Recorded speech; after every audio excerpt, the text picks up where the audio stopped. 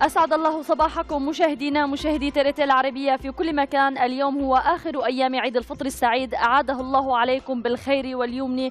والبركة.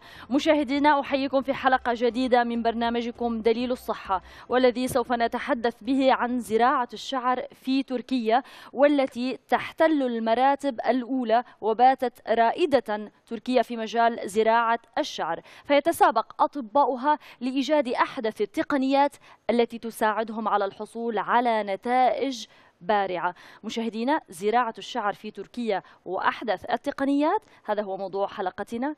ابقوا معنا.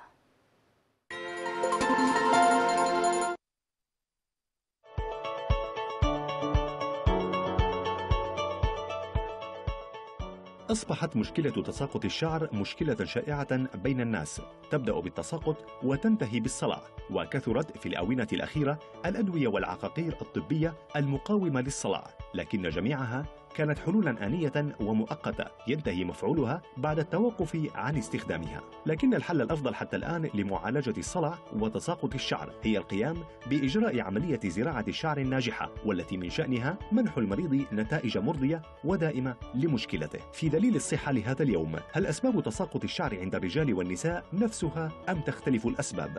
وما هي ميزات تقنية ال biofiber الجديدة؟ وما هي الأعراض الجانبية لهذه التقنية؟ كل هذه الأسئلة وغيرها سنجيبكم عليها في دليل الصحة بعد قليل. أهلا بكم من جديد مشاهدينا الأكارم. اذا زراعة الشعر وأسباب تساقط الشعر أيضا هو موضوع حلقتنا لهذا اليوم مع ضيفنا الدكتور عبد العزيز بلوي وهو الأخصائي في التجميل وزراعة الشعر. صباح الخير لك دكتور وكل عام وأنتم بألف خير. كل عام وأنتم بخير وكل سنة وأنتم سالمين. ينعاد عليكم على كل مشاهدينا بالخير والبركة يا رب. آمين يا رب. ينعاد على كل الأمة الإسلامية وعلى كل مشاهدينا بالخير إن شاء والبركة. إن شاء الله. دكتور يعني ليس بجديد دائما نتحدث كم هي تركيا رائدة في مجال زراعة الشعر وأنتم كأطباء يعني عرب وأتراك متواجدون هنا تحرصون على إيجاد يعني أحدث التقنيات في هذا المجال. قبل أن ندخل في مجال زراعة الشعر والذي يعني أعرف أنه يهم الكثير من المشاهدين صحيح. وخصوصا العرب. أريد منك أن نتحدث في المشكلة الأساسية وهي تساقط الشعر. يعني جميع الناس يظنون أن تساقط الشعر هو مشكلة متعلقة بالمستحضرات المستخدمة يعني أنواع الشامبوهات أنواع يعني الكثير من الأنواع التي يستخدمونها. لكن هي في الأساس هي مشكلة صحية يعني ويجب التوجه فيها إلى المشفى وليس إلى صالونات التجميل. أليس كذلك دكتور؟ صحيح. هلا الموضوع المستحضرات التجميلية هي عامل وسبب من أسباب تساقط الشعر ولكن هي ليست كل أسباب تساقط الشعر.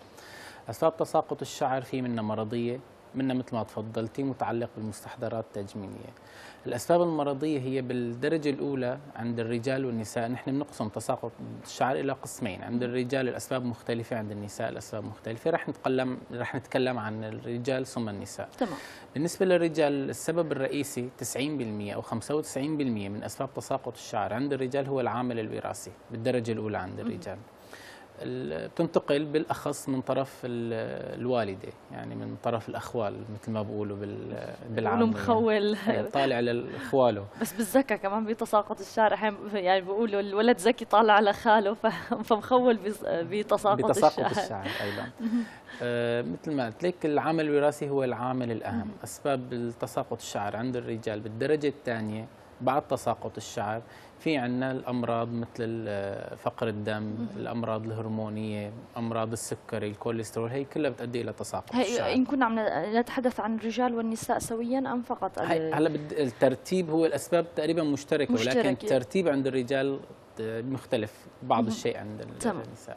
بالدرجة الثالثة هلا بال... عند الرجال هو عامل الستريس التوتر والضغط النفسي.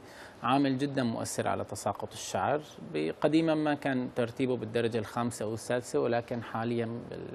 بسبب ضغوط, ضغوط الحياة, الحياة. صار يرتب بالدرجة الثانية بعد العامل الوراثي أو بالدرجة الثالثة.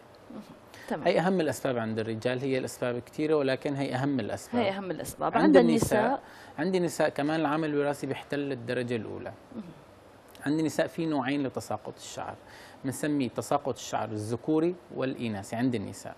تساقط الشعر الذكوري عند الإناث بيكون تساقط الشعر مركز بمنطقة معينة مثلا بالمناطق الجانبية أو بمنطقة التاج من الرأس ال crown area بنسميها.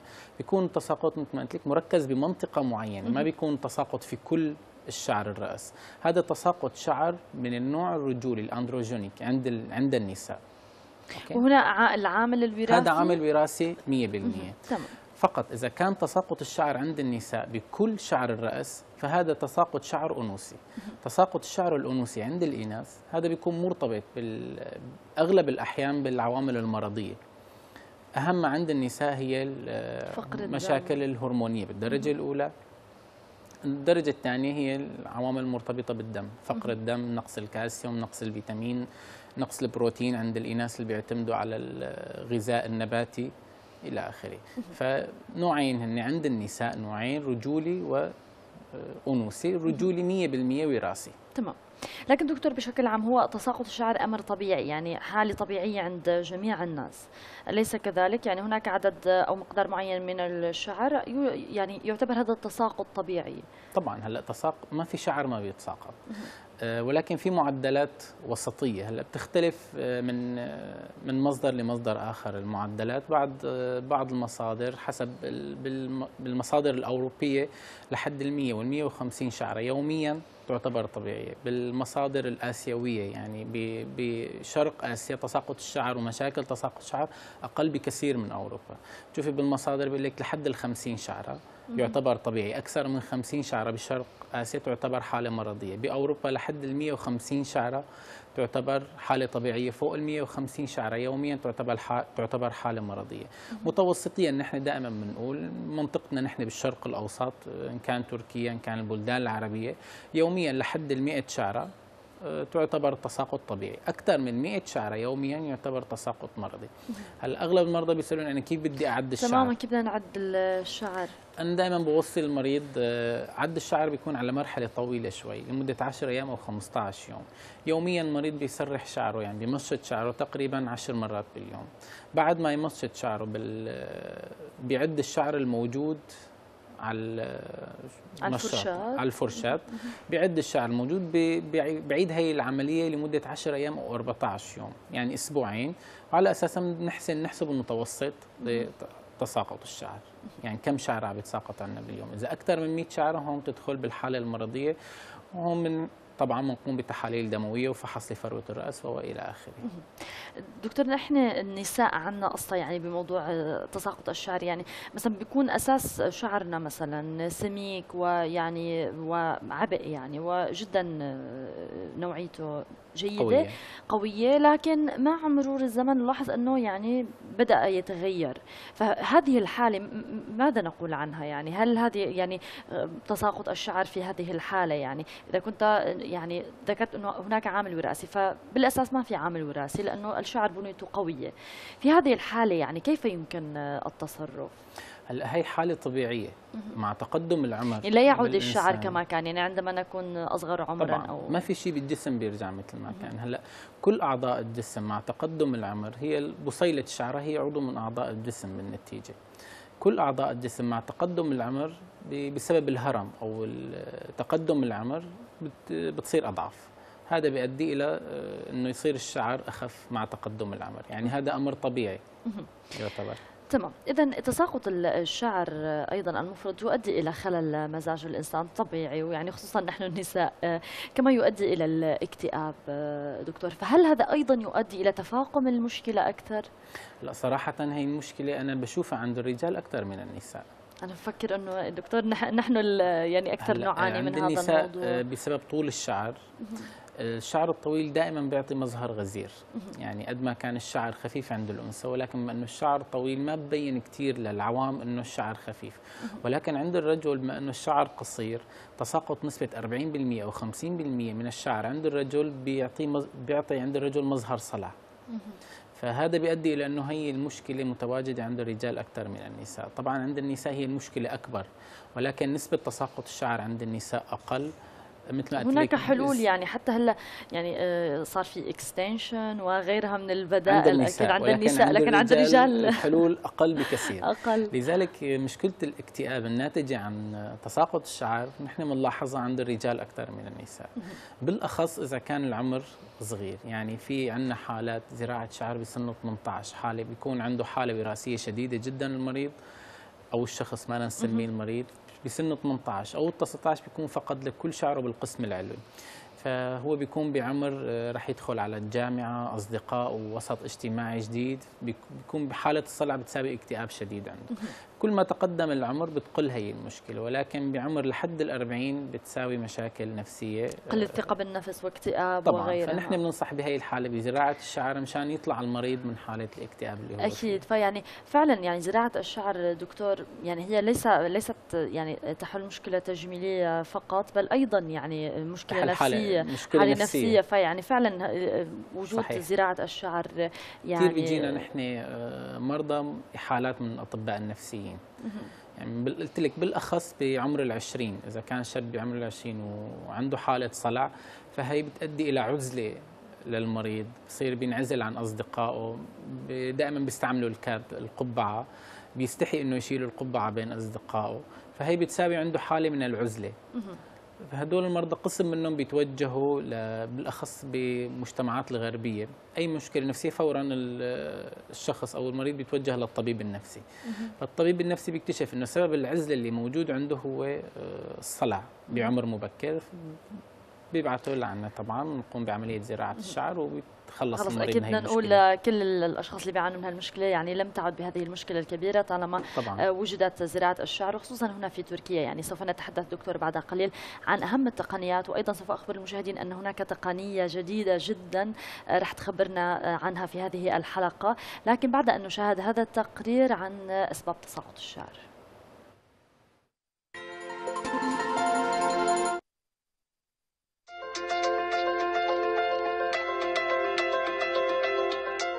من الممكن تساقط شعر النساء والرجال وتساقط الشعر عند الرجال أكثر شيوعا حيث أن نسبة تساقط الشعر تؤثر على 25% من الذين عمرهم 25 عاما و40% من الذين عمرهم 40 عاما و50% من الذين عمرهم 50 عاما.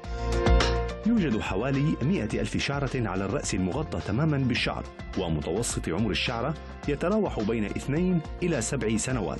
في نهاية هذه الفترة يبدأ الشعر بالنمو من البصيلة ويتساقط الشعر القديم. قسم هام من الشعر المتساقط لدى النساء سببه وراثي ما عدا العوامل الوراثية والعوامل الأخرى المتسببة في تساقط الشعر عند النساء هي كالتالي عدم التوازن الهرموني فترة ما بعد الحمل والحرارة المرتفعة والعدوى الشديدة وأمراض الغدة الدرقية ونقص الحديد وعدم التوازن الغذائي والضغط النفسي والأمراض المزمنة ومرض تقطع الشعر ومرض فقدان الشعر ونتيجة الأخطاء الجارية في العناية بالشعر. أما أسباب تساقط الشعر لدى الرجال فهي وراثية على الأكثر. أما الصفات المميزة لهذا التساقط فهي فقدان الشعر الحاصل أولا في المناطق الصغيرة على الطرفين الأيسر والأيمن للخط الأمامي في بداية الشعر. ويتقدم تساقط الشعر إلى الوراء مما يؤدي إلى تراجع خط الشعر وانسحابه إلى الخلف ليفتح هذا الحال الطريق إلى تشكل الصلع في القسم الأمامي من الرأس. هذه المشكلة المسماة تساقط الشعر الوراثي عند الرجال. من الممكن أن تأتي عن طريق الوراثة من الأب أو من الأم. أما في حال عدم حصوله عن طريق الأم والأب فيمكن أن يكون عن طريق العمة أو الخال.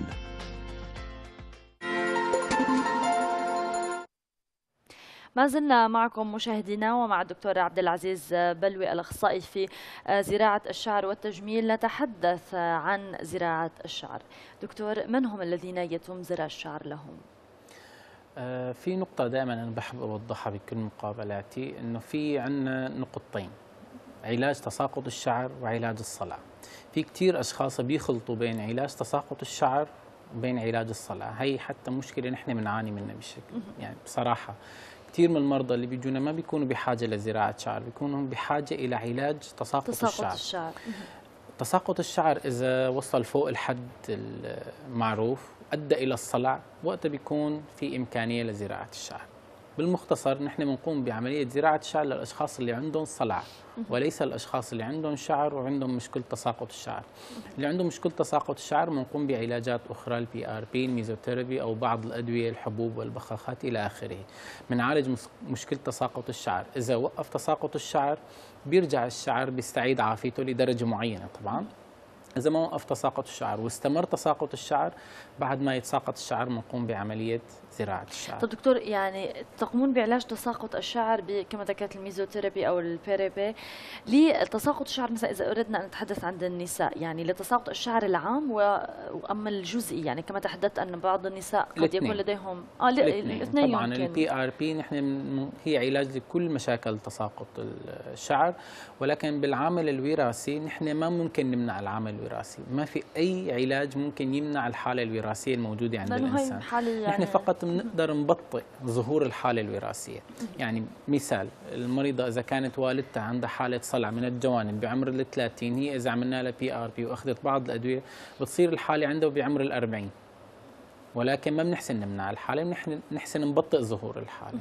تمام. بالنسبة لزراعة الشعر بنقوم بزراعة الشعر عند الأشخاص اللي عندهم صلع. إذا كانت نسبة تساقط الشعر يعني كانت نسبة الصلع عند الشخص لنفرض آه، الشعر المتساقط عنده 70 أو 80% ممكن نقوم بعملية زراعة الشعر ولكن عنده تساقط 50% من شعره هون نحن إذا بنقوم بعملية زراعة الشعر بغرض تكثيف الشعر بيكون أزينا الشعر اللي هو بطور التساقط.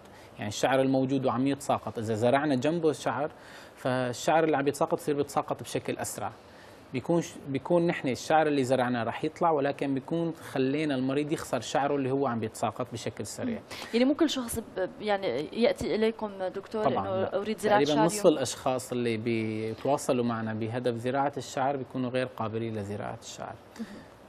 طب دكتور إذا كان الشخص أصلع تماما يعني ليس لديه شعر هل يمكن زرع الشعر له؟ هلا ما في شخص أصلع تماما الصراحة قد ما كان عند الرجال طبعا. في بعض الحالات المرضية مثل العلاج الكيميائي الثعلبة إلى آخره. أنا بحكي بالحالات العادية. قد ما كان الشخص أصلع المنطقة المانحة الهلال الشعري بنسميه منطقة ما بين الأذنين حسين نشوفها هون منطقة ما بين الأذنين والمنطقة الخلفية. هي بنسميها المنطقة المانحة أو بنج الشعر بنج الشعر. باللغة العربية.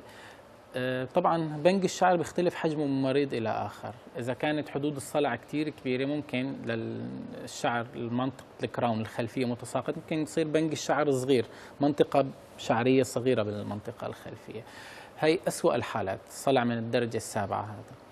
في هي الحالة حتى المريض بيكون عنده بنك شعري ولكن بنك شعري صغير. يعني ما بنحسن نقطة طيف مثلا 6000 أو 7000 بصيلة بنقدر نقطة طيف بحدود 3000 بصيلة أو 4000 بصيلة. ما في شخص إذا ما في حالة مثل قلت لك مثل العلاج الكيميائي أو الإشعاعي أو حالة الثعلبة ما في أي شخص ما عنده آه، منطقة مانحه بحال آه، كان الشخص عنده الثعلبة فاقد كل شعره حتى المنطقة المانحه أو بعد جلسات علاج كيميائي أو آه، إشعاعي فقد المريض شعره هون ممكن نحن نستعيض عن المنطقة المانحه بال body graft بنسميه ممكن نقتطف شعر من اللحية. من منطقة الصدر مناطق مختلفة من الجسم نقتطف body graft ونقوم بالزراعة. طبعا هي ما بتعطينا كثافة ما بنحسن ناخذ أعداد كبيرة آه، من اللحية والمنطقة مناطق الجسم المختلفة. ممكن توصل لل 2500 بصيلة كحد أقصى. فممكن نستعيض عن المنطقة المانحة بال body graft لكن حصرا يعني بشكل خفيف. ما بنحسن نعطي كثافة عالية لأن العدد محدود. لكن حصرا يتم أخذه يعني من الذقن أو من طبعا نقدر نقتطف من اللحية من الصدر من مناطق مختلفة أيضا. ليس فقط يعني بنك الشعر يعني ليس فقط من هذه المنطقة طبعا إذا كان بنك الشعر موجود نحن بنفضل الاقتطاف من بنج الشعر من المنطقة اللي طب دكتور وعند عند النساء يعني إذا كان هناك تساقط للشعر أو صلع معين هل يتم زرع الشعر عند النساء أيضا؟ لأنه نحن المتعارف آه تمام يعني المتعارف عليه فقط الزراعة عند الرجال. آه هل النساء أيضا يزرعون الشعر؟ طبعاً طبعاً. ومن أين يتم أخذ الشعر النساء 20% آه، من المرضى اللي بنقوم بالعملية لهم هن من النساء. ولكن نقطة أن عند النساء نحن بنقوم بالعملية بدون حلاقة. فبالمجتمع ممكن أنت بتشوفي كثير نساء عاملين عملية زراعة شعر ولكن ما تنتبهي عليها الرجل بسبب الحلاقة فبتكون العملية ظاهرة. ولكن عند النساء أغلب الأحيان ممكن أحد صديقاتك عامل عملية زراعة شعر ولكن أنت ما بتعرفي. بنقوم بالعملية بدون حلاقة. النساء أغلب النساء شعرهم طويل. فبنقوم برفع الشعر من المنطقة المانحة وبنقوم بحلاقة منطقة صغيرة بنسميها ويندو منطقة صغيرة. طولها بحدود 7 سم ل 4 سم وبنقوم باقتطاف الشعر منه. طبعا بعد العملية بننزل الشعر ما بتبين ابدا المنطقة المانحة. بالنسبة تاخذون الجذر والشعره كما هي؟ طبعا نقوم بحلاقة الشعر نأخذ الجذر الشعر. نقوم بحلاقة ولكن منطقة صغيرة بالمنطقة الخلفية. طبعا بما أنه الشعر طويل فبعد ما تنزل بعد العملية بنرجع بننزل الشعر فبتتخبى المنطقة بتتغطى المنطقة يعني بتصير غير واضحة. يعني في منطقة تحت الشعر محلوقة ولكن منطقة صغيرة بنقوم باقتطاف البصيلات منها. بالمنطقة الأمامية إذا كان عند الأنثى أغلب الإناث عندهم صلع. بالمناطق الجانبية مناطق الجولف أرياز هي المناطق من إذا عندهم صلع بهي المنطقة بنقوم بزراعتها أيضا بدون الحلاقة. في عندنا طبعا زراعة الحواجب. النساء أغلبهم بيجونا لزراعة أيضاً. الحواجب قبل زراعة الشعر بالدرجه الأولى زراعة الحواجب كمان كثير منتشرة. من أين تأخذون الشعر لزراعة الحواجب؟ أيضا من المنطقة الخلفية من المنطقة الشعرية ولكن بناخذ الشعر ننتقي الشعر الأحادي ويكون الشعر رفيع جدا. ناخذ الشعر الرفيع بحيث إنه يلائم شعر الحواجب. طب دكتور يعني ألا يطول هذا الشعر؟ يعني إذا كان من شعر الرأس من بصيلات الرأس طبعا. فبالطبيعي يعني سوف يطول. يطول بطريقة أكثر من شعر الحواجب طبعا. هون تضطر المريضة أو يعني اللي عاملة زراعة حواجب إنه تضطر شهر كل شهر تعمل تجميل لحواجبها. تضطر يعني لازم تقص الحواجب. تعمل تجميل للحواجب كل شهر تقريبا. يعني مو بس تطرف شعرها شعرها لازم تطرف حواجبها تقريبا كل شهر أو شهرين تمام. طيب دكتور لقد تطورت زراعة الشعر في تركيا بشكل فعلا يعني حتى سجلت علامة فارقة في العالم يعني احتلت المراتب الأولى ويعني رائدة في هذا لمده أربع سنوات على التوالي تركيا بالدرجة بالمرتبة الأولى عالميا بزراعة الشعر. وان شاء الله يعني تبقى في المركز الأول. سواء في زراعة الشعر وكل المجالات. فحدثني يعني ما ما السبب في هذا التطور؟ وكيف يعني ترونه أنتم كأطباء؟ كيف تعيشون هذا التطور الكبير في مجال زراعة الشعر؟ اللي هو السبب الرئيسي من وجهة نظري إنه تركيا نحن هون طورنا ال FUE technique لل micro FUE technique في أوروبا حاليا بيستعملوا ال FUE اليدوية ال manual FUE نحن بنستعمل ال micro FUE وال على ال micro motor يعني باستعمال الآلة الكهربائية. آه، بما إنه نحن عم طورنا ال FUE لل micro FUE صار صر نحسن ناخذ أعداد كبيرة من البصيلات بتقنية ال FUE technique ال manual الحد الأقصى اللي ممكن تقتطفه بجلسة واحدة هو 2000 بصيله ولكن بتقنية ال micro FUE باستعمال الموتور ال micro motor نحن بنقدر نقتطف لحد 6000 بصيله بجلسة واحدة. طبعا بدون ترك أي آثار أو ندبات بالمنطقة المانحة. هي بنسميها mega FUE يعني عملية FUE ولكن ضخمة. هي العملية بأوروبا حاليا بتقوم على ثلاث مراحل. بين المرحلة والمرحلة 8 شهور. يعني العملية اللي نحن بنعملها بتركيا 6000 بصيلة بأوروبا بتقوم بيعملوها بسنتين ونص. 2000 ب 2000 ب 2000 بفارق 8 شهور. وهنا في جلسة واحدة في جلسة واحدة إضافة إلى موضوع التكلفة. يعني المريض بأوروبا كل أقل شيء بأوروبا. ال 2000 بصيله تكلفتها 6000 يورو هذا المينيموم بأوروبا. بدي اعمل ثلاث جلسات بدفع 18000 يورو. تقريبا لحد 6000 بصيله نحن بنعمل ال 6000 بصيله بجلسة واحدة تقريبا بحدود ال 2000 يورو. ففي فارق ضخم بالتكلفة. هذا سبب من الأسباب اللي خلت كل الناس تتوجه لتركيا إضافة إلى أنه الحل جذري بتركيا. نعمل العملية كل الحد الأقصى اللي بيحتاجه المريض من البصيلات بجلسة واحدة. فهذا خلى كل الأنظار تتوجه إلى تركيا بموضوع زراعة الشعر إضافة جميل. هذا مع الوقت أعطانا خبرة أكبر بكثير من الأطباء اللي بأوروبا وحتى بأمريكا. طبعا لأنه يعني على لأنه في أعداد كبيرة طبعاً. تتجه يعني أكثر من في إسطنبول فقط بحدود ال 700 ل 800 عملية زراعة شعر في إسطنبول وليس تركيا. بمجمل تركيا تقريبا 2000 عملية زراعة شعر يوميا. يوميا. يوميا. يعني إسطنبول 700 عملية شعر زراعة شعر. جميل جدا. يعني إحصاءات تقول يعني العام الفائت وهذا العام يعني أكثر من 500 ألف يعني متوجه إلى تركيا بقصد المشافي بشكل بشكل عام يعني كسياحة الطبية أكثر من 500 ألف. أكيد سوف نكمل في هذا الموضوع دكتور وسوف نتعرف أكثر على الطرق المستخدمة. وأيضا كما قلت للمشاهدين هناك طريقة خاصة وجديدة جدا سوف يسمعوها لأول مرة في برنامجنا. لكن بعد هذا التقرير دكتور عن المشاكل النفسية التي يسببها تساقط الشعر.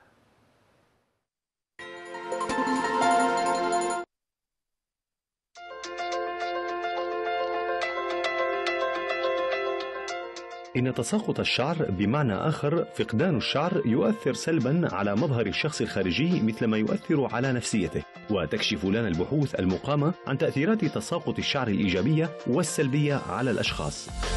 إن اعتبار فقدان الشعر كنهاية فترة الشباب والقلق من التقدم في العمر هما الحالتين الأكثر شيوعا بين الأشخاص الذين يعانون من تساقط الشعر. بمعنى آخر يعتبر فقدان الشعر كإشارة تدل على اقتراب نهاية الحيوية والجاذبية. وتساقط الشعر الذي يبعد الأشخاص عن الحياة الاجتماعية يؤدي إلى مشاكل نفسية مثل فقدان الثقة الذاتية والوهم بجذب انتباه أو نظر الآخرين والشعور بالنقص في العلاقات الاجتماعية. ومع ذلك فالمشكلة المشتركة بين الكثير من فاقدي الشعر هي عدم تمكنهم من تصفيف شعرهم كما يريدون. إنه أمر مرهق للأعصاب ومزعج جدا بالنسبة للشخص الذي يعاني من تساقط الشعر. إذ أنه يحاول إظهار شعره الخفيف بأكثر كثافة ولكن لا يتمكن من تصفيفه بشكل جيد. يغير تساقط الشعر في بداية الجبين نسبة الأبعاد في الوجه ونتيجة لذلك يتغير مظهر الأشخاص إلى حد كبير ويتحول إلى مظهر متقدم في العمر. وقد كشف بحث مقام في سنة 1998 أن الرجال الذين كانوا يعانون من تساقط الشعر كثيرا كانوا يشتكون من هذا الأمر أكثر مما كان يشتكي منه الرجال المصابون بنسبة قليلة وكان السبب شكوى الفئة الأولى هو مظهرهم المتقدم في العمر. إنما حساسية الشباب في هذا الخصوص هي أكثر من حساسية الكبار وقد اتضح في دراسة أخرى أن تساقط الشعر يسبب حزنا أكثر للنساء مما يسببه للرجال. وقد كشفت هذه الدراسات عام 1992 أنه من الأصعب على النساء أن يتقبلن هذا الأمر. الشعر هو عامل محدد من حيث الجاذبية الشخصية والتعبير عن النفس ويؤثر تساقط الشعر سلبا على الشعور بالجاذبية للشخصية وقد يتحول هذا الأمر إلى صدمة نفسية بالنسبة للنساء. وفي نهاية الأمر قد تصل معاناة الشخص المصاب بالتساقط إلى مرحلة الاكتئاب. إنه من الممكن أن تتم معالجة تساقط الشعر الناتج عن نقصان الوزن ونقصان الحديد والإنجاب.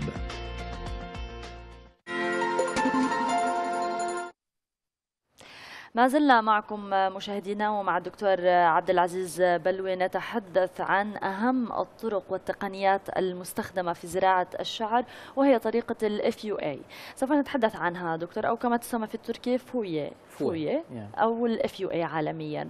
فحدثني عن هذه التقنية الحديثة والتي فعلا هي التي أجرت هذا يعني التغيير وهذه يعني جعلت تركيا يعني سباقة في هذا المجال. حدثني عنها في التفصيل. تقنية ال FUE هي متطورة عن تقنية ال FUT، ال FUT طريقة قديمة كنا ناخذ شريحة من فروة الرأس، طبعا هي تقنية ال FUT القديمة لحد الآن مطبقة في أوروبا. ناخذ شريحة من فروة الرأس بنقطعها لشرائح صغيرة بنقوم بزراعة الشرائح. ولكن بعملية ال FUE ما عندنا ناخذ شريحة، بناخذ البصيلات بهذا الشكل. دعنا نشاهد. ناخذ نعتبر هي كل وحدة بصيلة، ناخذ بصيلة من المنطقة المانحة بنقوم بزراعتها نفرض هي منطقة الصلع وهي المنطقة المانحة. ناخذ كل بصيلة على حدة ونقوم بزراعتها بالمنطقة المراد زراعتها. وكما ذكرت لي دكتور إنه في بجهاز المينو طبعا إحنا بناخذها بجهاز ال micromotor. ال micromotor هو اللي بياخذ هذه البصيلات وكما ذكرت يعني حوالي شي 5000 إلى 6000 بصيله بصيله بالجلسه الواحده في الجلسه الواحدة. قد ما كانت المنطقة المانحة كبيرة قد ما كانت غزيرة بنقدر ناخذ عدد أكبر من البصيلات بنزرعها بالمنطقة المانحة. بالمنطقة المراد زراعتها طبعا آه، في عندنا عدة نقاط بهي العملية. قوة المنطقة المانحة غزارة المنطقة المانحة طبيعة الشعر آه، طبيعة تموضع الشعر ضمن فروة الرأس. هي كلها بتحدد عنا عدد البصيلات اللي ممكن نقتطفها نحن بالجلسة الواحدة. لنفرض آه، رح نقتطف 4000 بصيله، طبعا المريض قبل العملية بنعمل كشف لفروة الرأس وبنحدد العدد التقريبي المقتطف آه، اللي رح نقتطفه عفوا. تمام. بنقوم باقتطاف البصيلات بالمرحلة الأولى مثل ما قلت لك من المنطقة المانحة. البصيلات ما بنزرعها فورا آه، بالمنطقة المراد زراعتها. البصيلات بتنطر بوسط مغذي. بنحافظ عليها بوسط مغذي آه، مشان نحافظ عليه لفترة رح نفتح القنوات. طبعا هي المنطقة اللي رح نقوم بالزراعة فيها بنقوم بفتح ثقوب مجهرية بنسميها micro channels قنوات مجهرية عفوا. هي القنوات المجهريه هي اللي رح نقوم بزراعة البصيلات فيها. تمام. بعد ما نفتح القنوات بنرجع بناخذ البصيلات وبنقوم بزراعتها واحدة تلو الأخرى بالمنطقة ضمن هي القنوات. يعني هي العملية عبارة عن ثلاث مراحل. مرحلة اقتطاف البصيلات من المنطقة المانحة مرحلة فتح القنوات أو المسام المجهرية بالمناطق المراد زراعتها المرحلة الثالثة زراعة البصيلات واحدة تلو الأخرى بالمنطقة المراد زراعتها جميل. وهذه كلها تستغرق مثلا دكتور يوم كامل واحدة. أما يعني كعدد ساعات؟ تقريبا سبع ساعات متوسطيا سبع ساعات.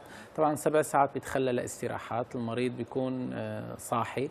العملية تحت التخدير الموضعي بنقوم بتخدير المنطقة المانحة. لا يشعر بألم المريض حتى خلال العملية بيكون عم عم بيتصفح الهاتف. أغلب المرضى بيكونوا على الفيسبوك وبينزلوا سناب شات خلال العملية. فالمريض بيكون صاحي بشكل كامل. نعطيه استراحات تقريبا كل ساعة ساعة ونص نعطي المريض استراحة بنعطي وجبة غداء. فالعملية مريحة. آه جميل. يعني يمكن أن يتناول آه، طعام طبعاً اثناء طبعاً. الزراعة. هل يمكن أن يشرب شاي قهوة؟ طبعا لا. ما في مشكلة. نحن ما بنفضل طبعا المنبهات. لأنه أساسا هو حاطط التخدير الموضعي. بنفضل إنه يشرب السكريات خلال العملية. عصائر وغيرها. عصائر طبعا. طب دكتور هذه يعني هذه كلها يعني زراعة الشعر في هذه الجلسة قبل البدء بزراعة الشعر يعني جميع الناس يعني تسألنا حتى نحن يعني يعني كونوا مختصين بهذا البرنامج إنه نريد زراعة الشعر هل يمكن إرسال الصور للأطباء؟ نريد أن نتواصل مع الأطباء هل يمكن يعني للمريض أن يتواصل معكم ويعني يعرف مسبقا النتائج التي يمكن أن يحصل عليها قبل المجيء إلى تركيا؟ طبعا هلا المريض قبل ما يجي لعنا بيكون عنده شبه معلومات متكاملة عن آه، العملية عدد البصيلات وإلى آخره عن طريق الصور أو الإيميل. المريض بيتواصل معنا بيبعث لنا الصور. أسهل طريقة هي عن طريق الواتساب أو الفايبر منتشر كثير بالبلدان العربية. بيرسل لنا المريض الصور. نحن بنقوم حسب الصور بتقييم الحالة. طبعا التقييم ما بيكون 100% على الصور بيكون تقييم تقريبي. 80 ل 90% نعطي المعلومات للمريض إنه نحن ممكن نقتطف من عندك ما يقارب ال 4000 5000 6000 بصيله في جلسة واحدة. رح ونتكلم عن طريقة تغطية منطقة الصلع إنه رح نغطي هي المنطقة المنطقة الجانبية أو الخط الأمامي مع منطقة الكراون إلى آخره. بنعطيه تفاصيل كاملة للمريض قبل ما يجي لعنا. جميل. وبياخذ أكيد تفاصيل عن السعر وغيره والمدة كل وكل التفاصيل. مع الإقامة. طبعا نحن هذا كله بنقدمه مع الباكج كامل متكاملة. العملية مع الإقامة مع المواصلات والأدوية إلى آخره. هون المريض بحس بالراحة طبعا. يعني إنه رح يجي ما رح يتكفل بأمور ثانية ابدا. بنستقبله من المطار للعملية وبنرجع بنوصله للمطار. هي ال package متكاملة طبعا ومريحة بالنسبة للمريض. جميل جدا. ودكتور هل ترجون للمرضى يعني تحاليل دم وغيره لتعرفون إذا كان يعاني من شيء قبل البدء بي المريض أول شغله بنقوم فيه قبل المعاينة هي التحاليل الدموية. وهي من ضمن موضوع زراعة الشعر يعني هي شيء شرط أساسي شرط تقومون أساسي يعني, يعني بالنتيجة هي عملية. لو كانت عملية بسيطة جدا ولكن هي عملية. نحن نعرف المريض نسبة الدم عنده في عنده أمراض معينة كالسكر أو غيرها. في عنده ضغط دم في عنده سكر إلى آخره. هي الأم... إضافة إلى الأمراض المعدية. يعني في عنده أمراض معدية أم لا مشان ناخذ حذرنا طبعا. تمام. طب دكتور يعني كيف يتم اختيار المركز المناسب لزراعة الشعر؟ ويعني أنت تعرف أنه هذا الموضوع ليس ب يعني ليس ب سهل لأنه الخيارات جدا كبيرة هنا في بالأخص, بالأخص في إسطنبول. فكيف الشخص يمكن أن يختار المركز المناسب؟ يعني هل مثلا من السعر يعني بعض الناس يقولون لا إذا كان هذا المكان سعره غالي فهو ممكن أن يكون جيد. هل هل مثلا يأخذ يقرأ عن النت مثلا عن كل مركز معين؟ كيف يتم؟ في عدة نقاط أنا دائما بنوه عليها بالمقابلات أو إن كان مع المرضى اللي بيتواصلوا معنا. بيقولوا لنا إنه في باسطنبول هلأ حاليا موجود بحدود ال 400 مركز زراعة شعر باسطنبول. أي الأفضل؟ هذا السؤال اللي بيتراود لذهن المريض. في 400 أنا كيف بدي أختار مركز من ال 400 مركز باسطنبول؟ هلأ مراكز اسطنبول ما كل مراكز زراعة الشعر مرخصة باسطنبول. هاي نقطة. أنا دائما بخ... بقول له للمريض اللي عم نتواصل معه إنه خلي المركز لو جيت لعنا أو رحت على غير مركز، المهم المركز اللي بدك تروح عليه يكون آه، أو المشفى يكون مشفى معترف عليه من قبل وزارة الصحة التركية. في مراكز كتير صغيرة بيشتغلوا بطريقة غير قانونية. بيشتغلوا بمكاتب أو بعيادات صغيرة أو بمراكز طبية صغيرة بتكون غير مرخصة أو مؤهلة لعملية زراعة الشعر. تكون العملية ضمن غرفة عمليات. أغلب المراكز آه، مشان يخفضوا من التكلفة بيعملوا العملية ضمن غرف عادية. يعني أي غرفة بالمشفى أو بمكتب أو بأوفيس بيحطوا الأجهزة اللازمة للعملية وبيشتغلوا العملية. طبعا هم في شروط تعقيم آه، إذا صار أمور آه، إسعافية لا سمح الله ما ممكن يتلافوها إلى آخره. أنا بدي أقول للمرضى دائما يتجنبوا هي المراكز الصغيرة. إضافة إلى أنه يتأكدوا أنه الطبيب هو اللي عم يقوم بالعملية بشكل مباشر. هذا عامل مؤثر جدا جدا. أغلب المراكز بإسطنبول آه، يعني أنت تنصح دكتور أنه يتوجهوا إلى مشفى وليس مركز قد يكون مركز تجميل أو مشفى ومشفى معترف عليه من وزارة الصحة. من وزارة الصحة التركية ممكن يكون إذا حاصل على شهادات دولية بيكون أفضل. أكيد دكتور يعني إذا مشفى أكيد يعني معترف عليه. يعني آه، دعنا ننتقل إلى يعني آه، سؤال آخر. ماذا يجب على الشخص الذي يعني قام بزراعة الشعر مراعاتها بعد القيام بعملية زراعة الشعر؟ بعد العملية في نقاط آه، بسيطة لازم يكون يقوم فيها المريض. هي في بعض الأدوية لازم ياخذها مثل مضادات حيوية مضاد لانتفاخ الوجه. آه، في آه، شامبو خاص لعملية زراعة الشعر كريم خاص لعملية زراعة الشعر لازم يستعمله لمدة عشر أيام تقريبا. بعد ما ننتهي من هي المرحلة بتصير مرحلة العناية الدائمة بالشعر. طبعا في عندنا أول شهر موضوع أنه لازم المريض يحاول قدر الإمكان يتهرب موضوع التعرق والتعرض الدائم لأشعة الشمس. قدر الإمكان أول شهر التعرض العادي يعني إذا المريض عنده مشوار تعرض للشمس 10 دقائق ربع ساعة ساعة ما في أي مشكلة. ولكن التعرض الدائم مثل اللي يروحوا مثلا الشواطئ السباحة يضل متسطح تحت الشمس خصوصا هلا بهالشوبات طبعا. هلا دكتور. أول شهر هذا الشيء بنمنعه بعد الشهر الأول بصير المريض بيكمل حياته بشكل طبيعي بيحسن يتعرق بشكل طبيعي يمارس الرياضة يمارس السباحة يمارس كل مجالات الحياة بشكل طبيعي جدا جدا. ولكن نحن بننصح المريض دائما بالفترة ما بعد الشهر لمدى الحياة إنه إذا بيحسن ياخذ مقويات آه، غذائية مولتي فيتامينز حبوب أو إذا بيحسن يغير النظام الغذائي هذا الشيء صعب صراحة. ولكن نحن بنطلبه من المريض إذا ممكن يغير الغذاء الصحي من ال fast food ليعتمد على الأغذية الفيتامينات والبروتينات. إذا ما في إمكانية لهذا الموضوع بنعطي المريض مكملات غذائية عن طريق الحبوب. أو بخاخات آه، للعناية بالشعر. طبعا تطبق على فروة الرأس. وهل يعني عند زراعة الشعر تقومون بحقن ال PRP أو الميزوثيرابي كنوع من يعني زيادة الفائدة؟ أم طبعا بعد العملية بعد كل عملية زراعة شعر بنقوم بتطبيق ال PRP لتحسين آه، النتيجة ولزيادة الفائدة. تمام. سوف نكمل دكتورة كما وعدنا المشاهدين أنك سوف تخبرنا بطريقة جدا جديدة لأول مرة سوف يعني تكون حل لكل الأشخاص الذين خصوصا الذين آه، عجزوا من موضوع زراعة الشعر. يعني الأشخاص الذين كان زراعة الشعر لهم مستحيل لم يعد مستحيل. سوف يخبرنا الدكتور عبد العزيز لكن بعد هذا التقرير كيف نحصل على شعر صحي؟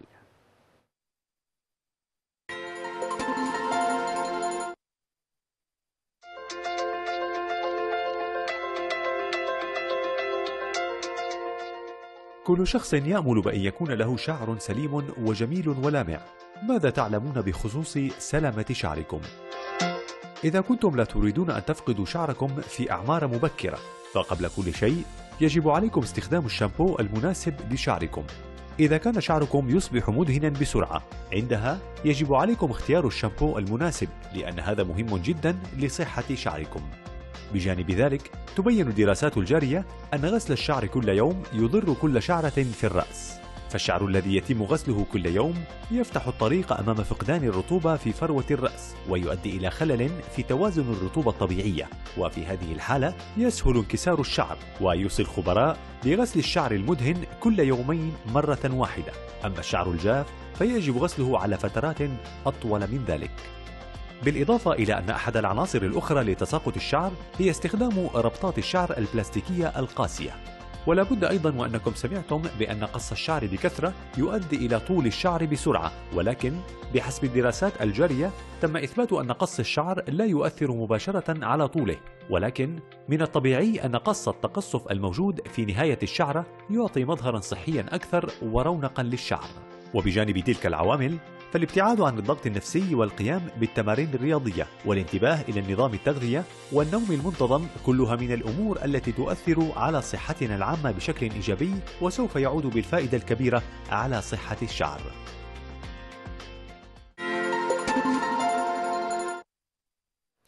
أهلا بكم من جديد مشاهدينا الأكارم. وصلنا إلى القسم الأخير من حلقتنا والتي سوف نتحدث بها عن تقنية جديدة سوف يحدثنا عنها الدكتور عبد العزيز بلوى وهي تقنية ال bio fiber دكتور فحدثني عن هذه ال bio fiber حدثني عن هذه التقنية الحديثة والتي سوف تتحدث عنها لأول مرة في دليل الصحة. هلا هي تقنية جديده صراحة بأوروبا وبتركيا لأول مرة. آه، هي الأشخاص اللي ما عندهم منطقة مانحة أو البنج الشعري هي حل لهم الأمراض اللي عندهم مرض الثعلبة أو اللي قلت لك تعرضوا لاشعه لأشعة أو علاج كيميائي. ما عندهم منطقة مانحة أو للنساء اللي ما بدهم يقوموا بحلاقة المنطقة المانحة. آه، هي عبارة عن زراعة شعر مصنع بمخابر خاصة. ناخذ عينة من شعر المريض ونصنع نفس الشعر تماما تماما بمخابر خاصة. آه، وبنقوم بزراعة هذا الشعر. آه، هذا الشعر بيكون طويل 15 سم أو 30 سم أو 45 سم فبنقوم بزراعة شعر طويل مباشرة عند عند النساء 30 أو 45 سم عند الرجال 15 سم بنقوم بزراعة هذا الشعر مباشرة شعر طويل بفروة الرأس وفروة الرأس تتقبل هذا هذا الشعر لأنه هو شعر قريب جدا لطبيعة تماما شعر دكتور يعني هي النقطة أريد التركيز عليها لأنه يعني أنت تعرف أنه يعني أي جسم غريب يدخل إلى جسمنا فالجسم بيكون عنده ردة فعل تجاه هذا الشيء. أنتم تقومون بزرع شعر لكن هو ليس طبيعي هو مصنع طبعا. يعني صناعيا فكيف يكون يعني قريب من الشعر الطبيعي؟ يعني مثل ما تفضلتي هي الفكرة موجودة من زمان ولكن كان كنا غير قادرين على تطبيقها بسبب آه، كانت صناعة الشعر قديما. اللي نحن بدنا نزرعه كان يصنع من مادة ال fiber يعني نفس الشعر المستعمل في الباروكه فهذا الجسم أي جسم غريب بيرفضه. ولكن هي التقنية الجديدة بتصنيع الشعر صراحة. هي الفكرة قديمة زراعة الشعر الاصطناعي بين قوسين. ولكن طبعا هي لكن الحديث إنه صناعه صناعة ال fiber. مصنع مواد مصنع مواد طبيعية مواد حيوانية. طبعا كلها مصنعه بين قوسين حلال يعني باخذ ترخيص حلال بتركيا. في عندنا رخصة اذا اذا المو يعني مثلا ما فيها أي مواد من الخنزير والى آخره. آه، هيك هذا السؤال كثير كثير بنسأل عنه. أنا بسأل دائما إنه مصنع مواد حيوانيه أول شيء بيسألوني إنه مصنع من دهن فيها مواد من دهن الخنزير أو إلى آخره. طبعا هي أخذ رخصة حلال هي ممتاز. هي ال fibers. مصنعة لك من مواد حيوانية طبعا بعد بحو بعد بحوثات كثير طويلة توصلنا لنقطة أنه ممكن نصنع بال fiber بطريقة معينة بحيث يتقبل الجسم. ف 98% 2% فقط من المرضى اللي بنطبق عليهم زراعة ال bio fiber آه، جسمه ما بيتقبل ال bio fiber 98% كيف بتعرفوا دكتور؟ يعني كيف تجرون هلا نحن قبل إجراء العملية بنجري تجربة مع المريض. بنقوم بزراعة 100 fiber فقط. ان بيجي المريض مثلا أحيانا بنزرع 4000 5000 أحيانا 10000 fiber. فبنطبق 100 fiber على المريض وبنقوم بانتظار فترة أسبوع أو اثنين حسب المدة اللي ممكن ينتظرها المريض. نحن بنفضل إنه ينتظر المريض ثلاث أسابيع. نزرع 100 fiber وبعد ثلاث أسابيع بنشوف. إذا خلال هالثلاث أسابيع ما صار أي احمرار بفروة الرأس. طبعا الجسم وقت بده يرفض ال fiber بيرفضها بيصير على شكل حبوب صغيرة وبي طبعا إذا صار عندنا حبوب بالمنطقة المزروعة معناتها الجسم رفض ال fiber. بنقوم باقتلاع ال fiber آه، واحدة تلو الأخرى. طبعا نحن هون بيكون زرعنا فقط 100 ورجعنا اقتلعناها. هي 2% من المرضى. 98% من المرضى بنزرع ال 100 fiber بعد ثلاث أسابيع بنشوف إنه ما صار عندهم أي reaction ما صار عندهم أي مضاعفات بنقوم بعدها بالجلسة الثانية اللي هي زراعة العدد الكبير المطلوب من ال fiber. وهذه طريقة ال bio fiber دكتور، هل تصلح لجميع الأعمار للرجال والنساء أيضا؟ طبعا هي عند النساء مطبقة أكثر من الرجال، الرجال مثل ما قلت لك موضوع الحلاقة عندهم سهل فقط مطبقة عند الرجال اللي ما عندهم منطقة مانحة ولكن عند النساء أغلب النساء بيجون في عندهم مناطق معينة بالرأس فيها آه، نسبة منخفضة من الشعر أو فيها تساقط كثير فبنقوم بالتكثيف. هي عند الرجال والنساء ولكن بالدرجة الأولى مطبقة عند النساء. النساء دائما بفضلوها هي حل جذري تكثيف المناطق الخفيفة إضافة إلى أنه شعر طويل يعني ممكن نزرع الشعر بطول 45 سم طبعا النساء اللي بيحبوا يكون شعرهم قصير بعد ما نقوم نحن بزراعة ال fiber بيقوموا بيقوموا بقص ال fiber بالطول اللي هن بدهم بس يعني هذا الشعر دكتور آه، لا لا يسقط لأنه ليس شعر طبيعي آه، لا يطول. هلأ آه، هو لا يسقط لا يتساقط. يتساقط. في تساقط سنويا 2% من الشعر المزروع بيتساقط. على مثال إنه نحن زرعنا 1000 آه، fiber نحن بنسميه fiber ما بنسميه شعرة. fiber. زرعنا 1000 fiber سنويا بتساقط 20 fiber. 2% من ال fiber المزروع بتساقط سنويا. هذا يعني إنه بعد 10 أو 15 سنة أو 20 سنة لازم نعمل جلسة تقوية ثانية للمريض. بالنسبة للطول طبعا ما بيطول. هو طوله ثابت. لذلك نحن بنزرعه بشكل طويل. آه، وال يعني المريضة بتعطيه طول اللي بيناسبها بس ما لازم تضل تقصره كل فترة والثانيه يعني هو الفارق الوحيد صراحة عن الشعر الطبيعي إنه الشعر الطبيعي بيطول الفايبر ما بيطول. هو هذا الفارق الوحيد. كشكل كملمس كمظهر كمعاملة بتتعاملي معه بشكل طبيعي بتعملي له تجفيف تسريحات اللي بدك إياها حتى بتلونيه بالشكل اللي بدك إياه. بتتعاملي معه بشكل كشعرك الطبيعي 100% الفارق الوحيد إنه هو ما بيطول. هذا الفارق الوحيد عن الشعر الطبيعي. وما نسبة نجاح هذه التقنية؟ نسبة النجاح قلت لك إذا 2% من المرضى ما بيتقبل جسمه إذا المريض تقبل جسمه الفايبر فنسبة النجاح 100% هل ترى يعني دكتور أن هذه التقنية سوف تغزو يعني بشكل أكبر يعني سوق زراعة الشعر؟ يعني مثلا هل سوف يفضل مستقبلا الناس أنه لا يريدون الأخذ من شعرهم البنك البنوك المانحه لا يفضلون هذه النوعية؟ هلا عند الرجال ما راح تأخذ البعد نفسه عند النساء.